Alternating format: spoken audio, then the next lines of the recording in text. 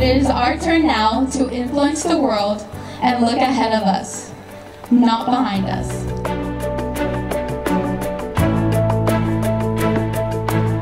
Let's not forget that just because this adventure is ending doesn't mean there aren't new adventures awaiting us.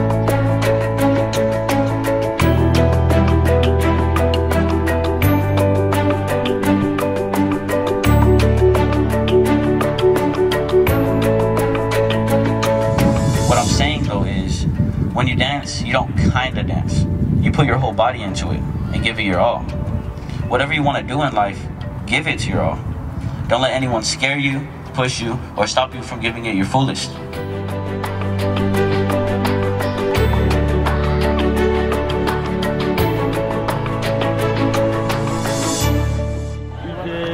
did it. We did it. We did it.